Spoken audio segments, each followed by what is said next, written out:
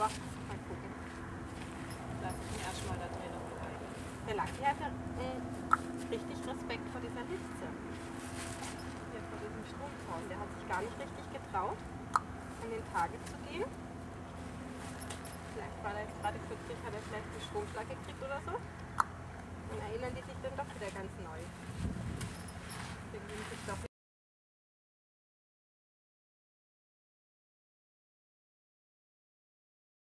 Mal gucken, es nachher im Film ist.